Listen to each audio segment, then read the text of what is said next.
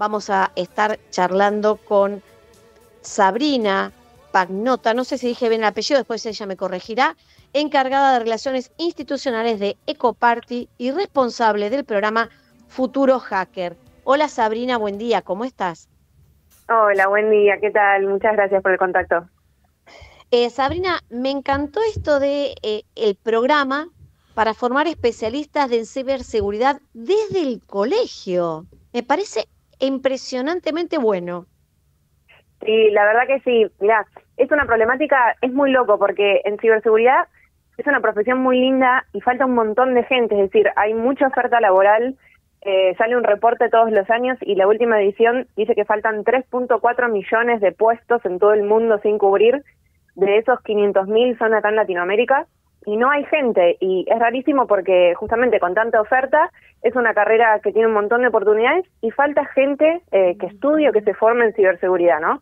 De ahí Ecoparty, nosotros somos una comunidad de ciberseguridad eh, acá en Argentina desde el 2001, eh, haciendo un montón de iniciativas, un evento gratuito que hacemos todos los años, tenemos nuestra propia academia online donde la gente se puede certificar en ciberseguridad y ahora también estamos haciendo este programa que mencionaba, Futuro Hacker, donde vamos a las escuelas secundarias a contarles, ¿no? Que existe la ciberseguridad desde dos frentes, un poco desde lo cotidiano, es decir, nos impacta a todos la seguridad en cuanto a proteger nuestra seguridad, nuestros datos en el celular, nuestro mail, todo ese tipo de cuestiones eh, básicas que tenemos todos los que usamos Internet, pero también desde este más lado de desarrollo profesional, que sepan a esa edad, que es una edad clave donde quizás están explorando hacia dónde quieren ir, eh, sus fortalezas o, o, qué tipos de perfiles les gustan, y que sepan que existe la ciberseguridad como opción eh, básicamente por eso, yo cuando fui al colegio no sabía que era una carrera, no sabía que podía estudiar o dedicarme a eso, llegué por otro lado más tarde, entonces la verdad que queremos acercarlo desde una edad más temprana, ¿no?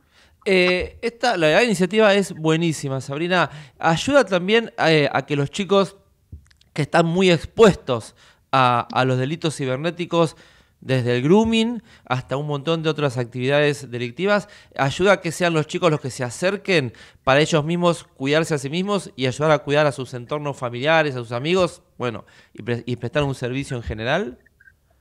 Sí, exactamente. Es, un campo que, que, es muy apasionante. La gente cuando, cuando llega, cuando descubre esta comunidad, todo este sector, eh, es algo que también está bueno que te permite como poner manos a la obra, ¿no? Es algo muy práctico.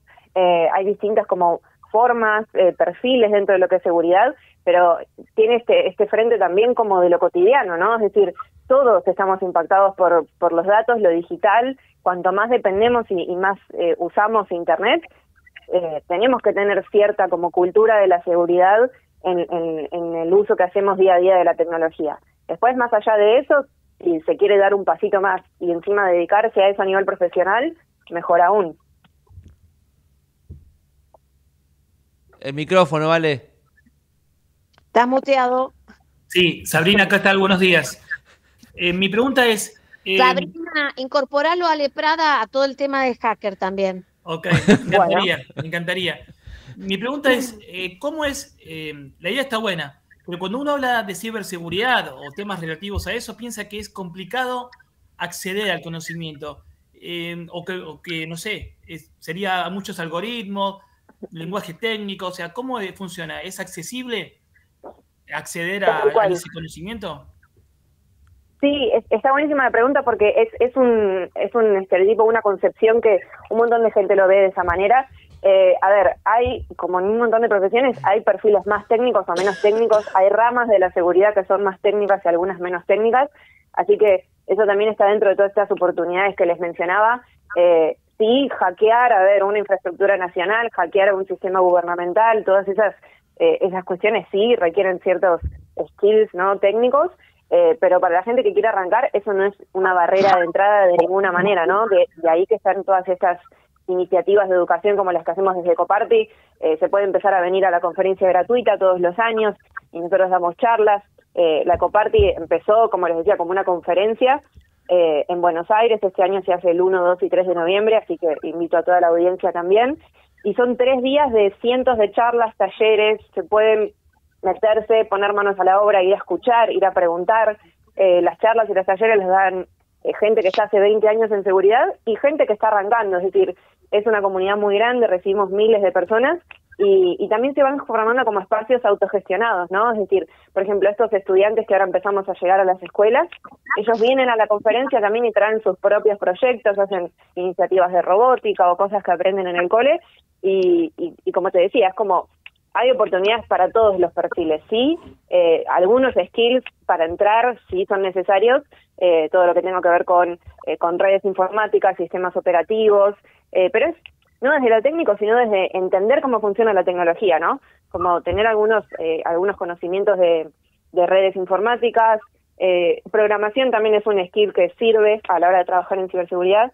Si bien no, no se trata de programar, sí saber programación eh, suma un poco a, esto de la lógica de cómo funcionan los sistemas y que de ahí uno entiende si cómo es su arquitectura, cómo se puede hackear o cómo se puede corromper esa arquitectura, ¿no? Pero como te digo, es, es, son cuestiones que mm, si uno tiene ganas de meterse, es muy simple, digamos, de, sumergirte en la comunidad, conectarte con gente que sabe que está en ese palo, un montón de recursos gratuitos y comunidades donde uno se puede ir haciendo parte. Eh, a mi pregunta apunta a lo siguiente, Serena, porque es interesante, eh, es bueno que eh, más que nada las nuevas generaciones sigan una carrera en, ciberseguridad, porque uno a veces escucha tantas cosas que suceden en las redes, el, famoso, la famosa dark web, que uno le interesaría entrar a husmear, nosotros como periodistas nos interesaría entrar a husmear, pero uno tiene miedo de decir dónde me voy a meter y a ver si alguien se me mete en la computadora después. Seguir este tipo de carreras es eh, muy costoso, porque alguien puede decir, che, me interesa, pero se puede estudiar gratuitamente, es muy costoso, hay planes de estudio donde pueda tener una beca. Sí, hay de todo, hay oferta nacional, internacional. Nosotros desde Coparty, viendo un poco toda esa problemática y como digo, con 20 años de presencia en la comunidad, lo que detectamos es que faltaba algo así eh, que sea un poco más accesible. Eh, los cursos, en general, si vienen de afuera, obviamente se pagan en dólares y, era una educación un poco costosa. Y acá había, hay formación de grado y de posgrado, eh, pero es más quizás desde lo teórico, no es tanto manos a la obra y quizás faltan esos skills prácticos para salir a trabajar de eso desde el día uno, ¿no? Entonces nosotros en Ecoparte lo que hicimos es armar un programa certificado que dura nueve meses y es online, eh, y ese programa tiene un programa de becas, obviamente, como para que sea un poco más accesible. Hay programas de becas eh, para mujeres y diversidades y también para el resto de la comunidad también, que los apoyan distintas empresas, Google es una de ellas. Eh, así que con este programa de becas lo que hacemos es fomentar esta educación, que puedan formarse en este programa de nueve meses, que les da todos los skills necesarios, porque está formado, a ver, el programa y los docentes son instructores de la comunidad, son esta gente que te digo que suele dar charlas, que presenta papers, que tiene sus años en, en, la, en, la, en el sector. Y ahora están acá en Ecoparte y lo que hacen es compartir su conocimiento, dan materias específicas de sus áreas eh, de, experiencia y con todos esos skills nuestros egresados tienen una súper buena salida laboral en empresas de acá de Argentina, en bancos, en multinacionales con sede en Argentina. Eh, la verdad es que es una red muy linda la que fuimos armando y que está buenísimo siempre con los brazos abiertos a que más gente se sume, ¿no? Ale.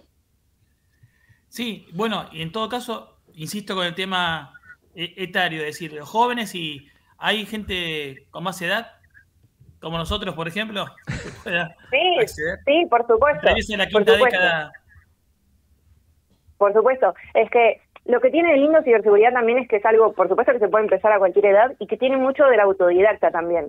Eh, de hecho, eh, eh, es una profesión donde, con eso que te decía, de todos los puestos que hay para para que se busca talento y demás, es un proceso de búsqueda en el que no se no se rige tanto por, por qué, eh, qué títulos tiene el, entrevistado, o a dónde fue a la facultad, o qué certificaciones tiene, sino qué sabe hacer, ¿no? Hay que saber hacerlo, y para saber hacerlo hay que sentarse y practicar, ¿no?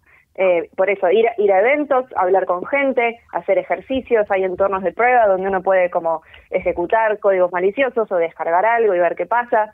Eh, es, una, profesión muy autodidacta también y eso es lo que tiene de lindo de que sea tan abierta a distintas edades y demás. Sabrina, y además se me hace que los que estamos escuchando, lo que pensamos es qué bueno engancharlos a esta edad, ¿no? Porque en la secundaria uno habla de hackers y piensa en lo malo y viste que en la adolescencia uno se intenta meterse en cosas que a veces no debe meterse. Y qué bueno engancharlos en esta edad para que hagan el buen hackeo, ¿no? Para que trabajen en positivo, en lo de ciberseguridad. Exacto, es que sí, hay distintas formas, eh, a ver, el, el, hacking es hacking como, como talento en sí mismo, y después hay gente que lo puede usar con un fin y gente que lo puede usar como otro, eh, como cualquier otra profesión, ¿no? Nosotros siempre damos el ejemplo del cerrajero, y si el cerrajero sabe perfectamente cómo funciona tu cerradura y tranquilamente la podría abrir, pero no por eso es un criminal que va robando casas, ¿no? Es, es tener un conocimiento, el hacking es una técnica. Después cómo se usa está en la ética de uno mismo eh, todas las profesiones eh, de la comunidad nuestra hacen, se llama hacking ético, algunos le dicen así, que tiene que ver con eso, como si vos, hay gente que por profesión su trabajo es intentar corromper la seguridad de su empresa para todo el tiempo detectar qué fallas tiene y qué hay que mejorar y qué hay que seguir eh, protegiendo, ¿no? claro. Es, de vuelta, es hacking con fines éticos. Contale a la gente, a, a los chicos que están escuchando, cómo sumarse a este programa de Ecoparty. Sí, está toda la info en nuestra web, es ecoparty.org, ecoparty se escribe con K, eh, y ahí tenemos toda la información del programa de becas eh, de, nuestra academia que se llama Ecoparty Academy, es este programa online que les decía con, con las becas. Eh, tenemos también la info de la conferencia, que es gratuita, este año, como les decía, 1, 2 y 3 de noviembre. Eso es súper lindo para gente que le interese de cualquier edad, de cualquier palo, que vayan a ver de qué se trata la conferencia.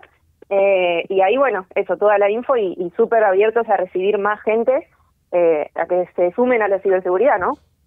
Sí, claro. Sabrina, muchísimas gracias, que tengas un lindo fin de semana. Gracias, igualmente para ustedes. Chao, chao. Un abrazo. Hablábamos con Sabrina Pagnota, encargada de Relaciones Institucionales de Ecoparty, responsable del programa Futuro Hacker. Me encantó, muy lindo esto.